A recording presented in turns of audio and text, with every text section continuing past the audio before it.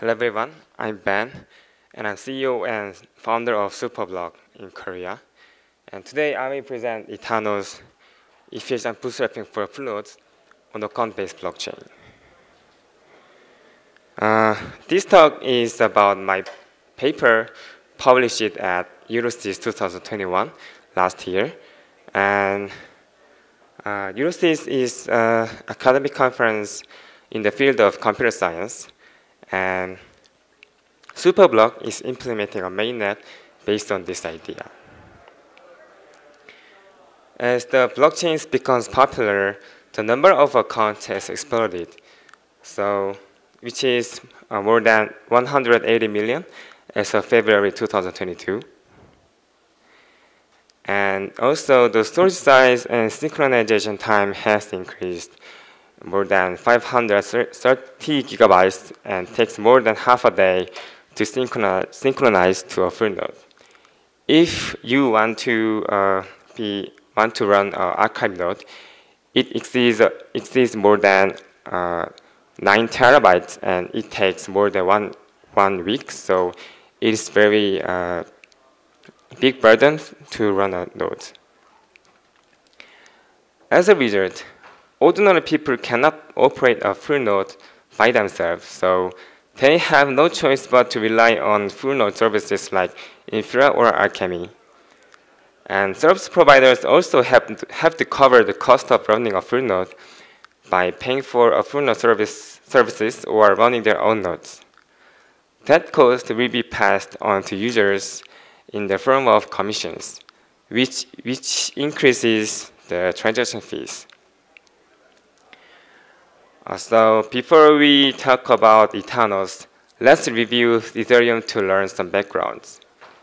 Ethereum stores each account into the state trie, of which structure is Merkle-Patricia trie, or MPT, and the character sequence of account address determines the path to its account data. Each node is labeled with a hash value. And this MPT is stored by LevelDB, and each node is stored with this hash as a key. Accessing an account requires multiple hash-based LevelDB accesses, which is the main bottleneck for synchronization. And MPT also allows efficient verification, and there are two proofs. One is Merkle proof, and one is void proof. Merkle proof uh, provides a proof that uh, can that proves an account exists in the state trie. For example, on an account 0x7a1cdf uh, could be proved by uh, the nodes like branch node 0, extension node 0, branch node 1, and extension node 1, and the account. We can serialize these nodes, and this proof can prove that this account is, in this in this state trie.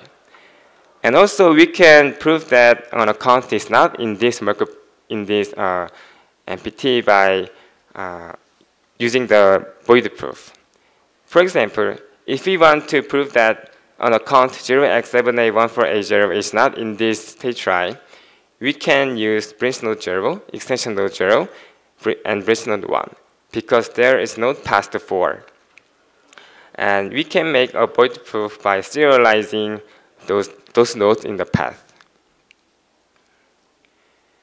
Uh, if a new node wants to be wants to join the network, it has to synchronize uh, the current block state. There are two uh, synchronization processes. One is archive sync and one is fast sync. And there is uh, snap, in the latest case, but it is similar to fast sync, so I will uh, explain for these two processes. Uh, sync downloads all blocks and replays all the transactions from the Genesis block to the current block and to reproduce the current state of the current block. Uh, sync uh, stores all the histories of the blockchain, so it, it, it requires large space and a long time. So fast sync uh, has been proposed. And FastSync downloads all the blocks, with the, but it also downloads the state of the pivot block, and it replaces the transactions only from the pivot block to the current block to uh, reduce the synchronization time. And it, uh, yeah, time, and it significantly reduced the storage size and synchronization time, but it is still slow because we need to traverse, transmit, and rebuild only every node of the huge state trie, which suffers from the intensive disk IOs.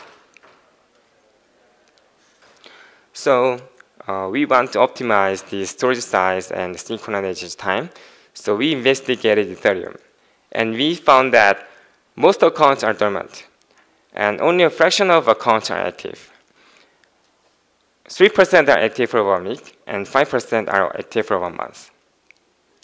And we also found that active accounts tend to be activated soon again. An account is updated in a week with a probability of 76%, and an account is updated in a month with a probability of 89%. So we propose an idea to reduce storage size, uh, storage size and synchronization time by sweeping the dormant accounts periodically. Let's create a lightweight node with, a, with only the active accounts. Um, Ethanos sweeps dormant accounts periodically by an epoch lambda. For example, lambda could be 40,320 blocks for one period. Simply, uh, and Ethanos simply creates an empty trie every time a new, new epoch starts, and yeah, because uh,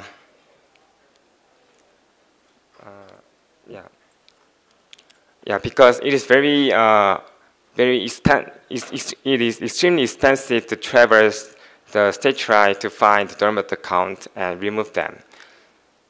And Ethanos caches the last checkpoint of each epoch. And Ethanos fills a new uh, fills a new trie only with the active accounts used by the transactions, transactions in the new epoch. The reason that Ethanos caches the last checkpoint is that the new trie has no state, so we have to copy the data of the last state of the account. This is the sweep mechanism of uh, the, Ethanos. Uh, if an account is in the current trie, just use it. But if an account is not in the current trie, but in the cache trie, copy it to the current trie to update the current trie. If an account is not in, the, in both tries, uh, two, case, two cases could, could occur. If it is a sender, it is an invalid transaction because it, because it has no, no state. If it is a receiver, create a, create a crumb account as if a new account is created. Uh, this, crumb, this crumb account is different from the dormant account because the, those states are different, but it is the mechanism of Ethereum that creates, creates an account, so we have to uh, cover the crumb accounts. And we prune the dormant, accounts, and if a user wants to restore the dormant accounts, we have to uh, provide, the, provide the restoration process. And the, the user of dormant account has to transmit a restore transaction. Restore transactions restores the last active state of an account by merging its crumb states. But there could be some cheatings. So to avoid the cheatings, a restore transaction includes a sequence of Merkle proofs and void proofs, which will be verified by miners. And uh, these proofs, these Merkle proofs also prove that uh, also includes the last state of the dormant account, and also prove that that account was really exist in the uh, last in the last block. And we use the restored, restored fact because uh, we cannot uh, distinguish crumb state from the uh, restored state. So we use this flag to prevent an already restored account from behaving as if it is a crumb account. So a value state generated by a restored transaction can be expressed during a regular expression like this. And if a proof sequence of restored transaction does not follow this regular expression, it will be rejected. Therefore, an attacker has no choice but to follow the regular expression, but it only generates a correct, a correct state. And Ethanos uh, also uh, provides some other sync mode named compact sync.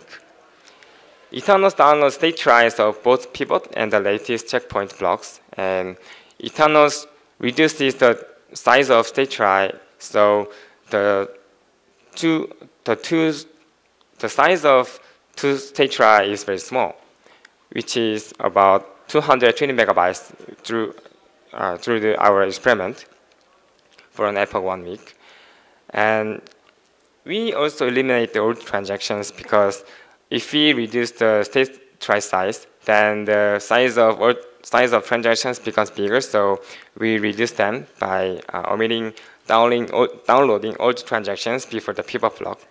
So we can significantly reduce the storage size and synchronization time.